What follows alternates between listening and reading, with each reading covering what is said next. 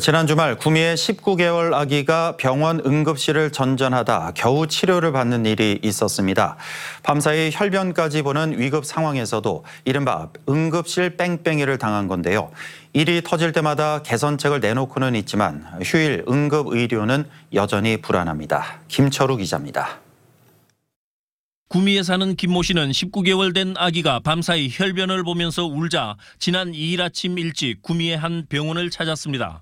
365일 언제든 소아 진료가 가능하도록 구미시로부터 지원을 받고 있는 종합병원입니다. 그런데 이 병원에서 장중첩으로 의심되지만 손쓸 방법이 없다는 말을 들었습니다.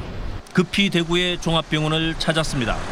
소아응급실을 운영하는 이 병원도 초음파 등 영상 촬영이 안 된다며 다른 병원으로 갈 것을 권했습니다.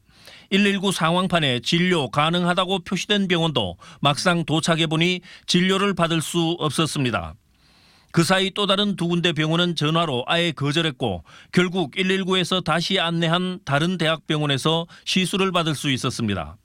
24시간 내에 이거 뭐 처치를 안 하면은 이게 장이 괴사해가지고 절제를 해야 될 수도 있다 하더라고요. 그래서 이게 시간을 다투는 병인데 지난 주말 응급실 뺑뺑이 보도를 보고 직접 연락해온 응급의학 전문가는 지난 2010년에도 대구에서 장중첩증으로 4살 아이가 응급실을 전전하다 숨진 일을 되짚어봐야 한다고 강조했습니다.